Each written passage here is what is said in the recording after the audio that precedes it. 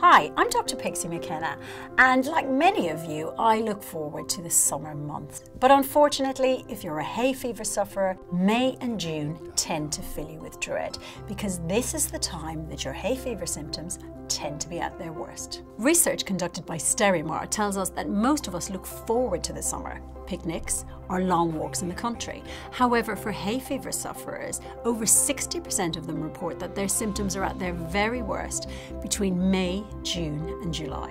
One in five hay fever sufferers say that the condition doesn't just impact them, it also affects their friends, family, and loved ones.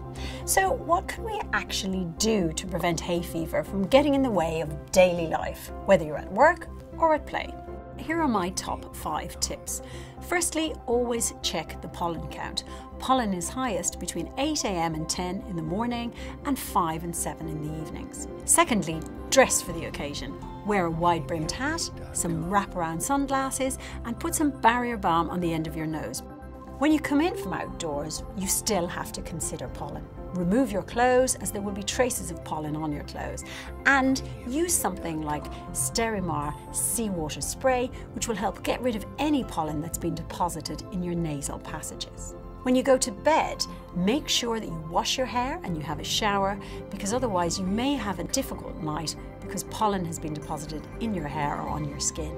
And don't be tempted to open the window because once again this will bring pollen in from outdoors and aggravate your symptoms. My final tip is for those of you who aren't keen on taking medication because you're worried about side effects, so you're suffering in silence. I would suggest that you speak to your healthcare professional because there are naturally inspired solutions available, and this could make a great difference to how you enjoy your summer.